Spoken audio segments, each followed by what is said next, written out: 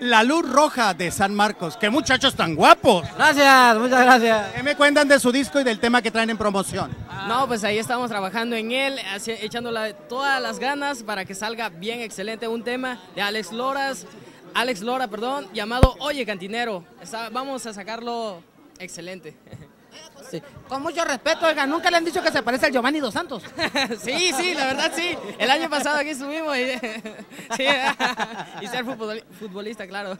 ¿Cómo distinguen o cómo clasifican su grupo y cuáles son las razones por las cuales están logrando su internacionalización? Ah, mire, pues gracias al señor Enrique Usquiano, que él es eh, muy conocido y nos está metiendo aquí a lo, a lo- a lo grande, ¿verdad? Nuestra música es música costeña, eh, pura charanga, música alegre, muy tropical. Ah, una conocida.